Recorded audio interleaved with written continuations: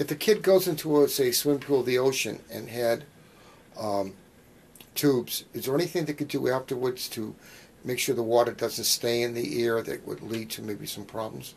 Sure. Um, there are uh, some solutions you can use. There are some ear drops that you can use um, uh, that would help prevent an infection uh, if you had a water exposure.